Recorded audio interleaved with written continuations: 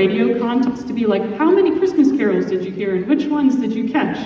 Um, there are nine different ones, Joy to the World, Hallelujah Chorus, uh, there's uh, Good King Wenceslas, all of those uh, really fun carols and ones that we know really well. The next one that we're going to perform is Whisper to Their Souls by Samuel Hazo. Um, this is a, a piece of music that's based around the tune of Greensleeves, and the melody gets passed from the woodwinds. It starts with this beautiful woodwind, like little quartet in kind of the beginning, and then it gets passed all around. Um, and there's some beautiful middle voice uh, things happening in our French horn and our alto saxes that you'll catch as well. So this is Whisper to Their Souls by Samuel Hazo.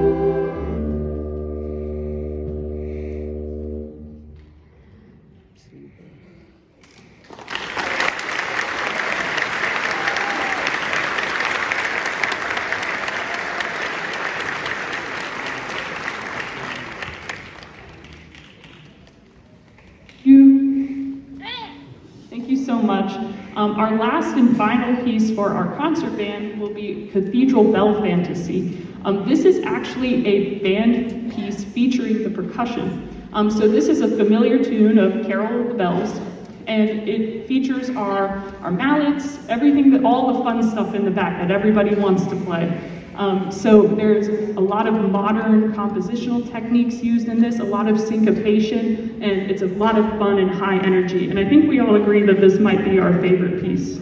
Yeah, it's a lot of fun. Um, so I hope you enjoy Cathedral Bell Fantasy.